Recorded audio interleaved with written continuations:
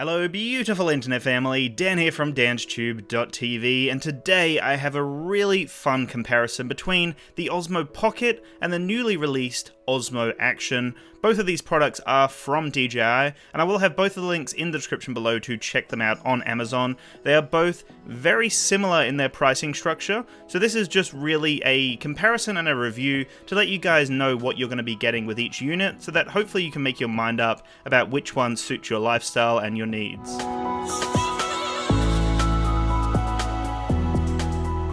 Now first things first, I won't be doing a side-by-side -side in this video, and that's purely because the field of view on the Osmo Pocket is 80 degrees, where the Osmo Action has a field of view of 145 degrees, so the Action is a lot wider, and it just didn't really work when I did a side-by-side, -side. so I'm just going to showcase footage from both the Pocket and the Action, and then you can make your mind up in the comments below. Both units have a max video bitrate of 100 megabits per second, although the Osmo Action does seem to trump the Pocket Pocket when it comes to a few other video settings. So first things first, it offers 8 times slow-mo at 1080p, so that's 240 frames per second, where the Pocket shoots 120 frames per second in Full HD, also known as 1080p. The other thing that the Osmo Action has over the Pocket is that it can shoot 4K HDR video.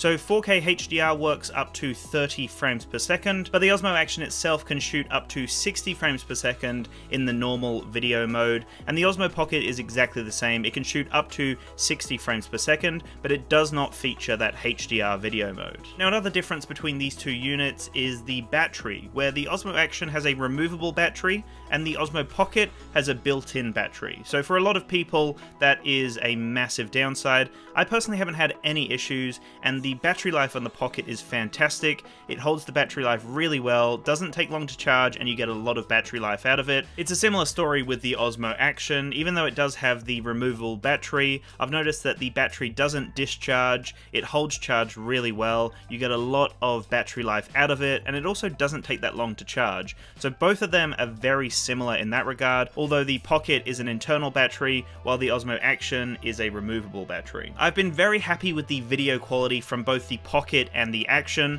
The 4K footage does look phenomenal from both units. The low light performance is actually pretty decent, although I think the Pocket might have the edge in low light.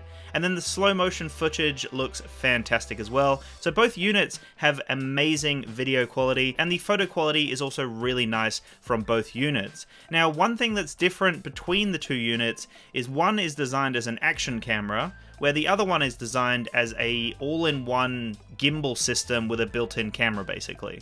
So the Osmo Pocket has that mechanical 3-axis gimbal, and the Osmo Action has Rocksteady, which is their electronic image stabilization. And amazingly enough, they both perform really, really well. I'm extremely impressed with the electronic image stabilization. It actually performs really, really well, although it does completely fall apart in low light, and it also has a few issues when the scene isn't that well lit. If you have a few shadows in the scene, then the Osmo Action will struggle a little bit, where the Osmo Pocket having that mechanical 3-axis stabilization, it performs phenomenally well in pretty much any situation, although I do notice still a little bit of focus hunting in low light situations, and occasionally when you have too much going on in the scene, where the Osmo Action has this infinity focus, so pretty much everything in the scene is in focus. Both the Osmo Pocket and the Osmo Action have completely different designs. The Osmo Pocket is more of an upright, thin gimbal, where the Osmo Action just looks like an everyday rectangular action camera.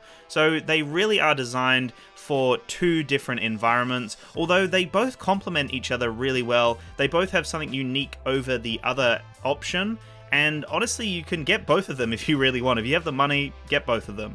But it really does depend on your needs. I think the Osmo Pocket, in my opinion, is the perfect overall camera. I think it's probably one of the greatest camera units I've honestly ever purchased. It just has everything I need. It has that amazing 3-axis stabilized footage, and overall I have nothing to flaw about the Pocket, besides maybe a little bit of focus hunting, but the unit itself is phenomenal, and I've been very happy with it. But then on the other side, we have the Osmo Action, which is trying to compete with the GoPro range, and honestly, they have done a fantastic job. You have custom profiles, you have de-warping, so you can turn that off and have more more of a genuine kind of shot of a scene without that uh, fisheye look and that warped look to the image, which you do get in a lot of these other action cameras. So as just an overall unit, the Osmo Action still does a fantastic job. The Osmo Action also has that front-facing screen so you can frame the scene and know what's going on. They both have decent audio. They're not fantastic in the audio realm,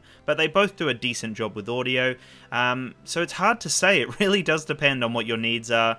I think the Pocket is the perfect overall, where the Osmo Action is also a really good overall, but uh, for some reason I just prefer the Pocket, the form factor, what you can get out of it, and it's just such a flawless unit and such a unique unit as well. So anyway, let me know what you think in the comments below. Do you prefer the Pocket or the Action? I'd love to know why in the comments below, and if you haven't already, make sure to subscribe as I will have a lot more content in the future. Thank you so much for watching, make sure to have a splendid day, and peace out.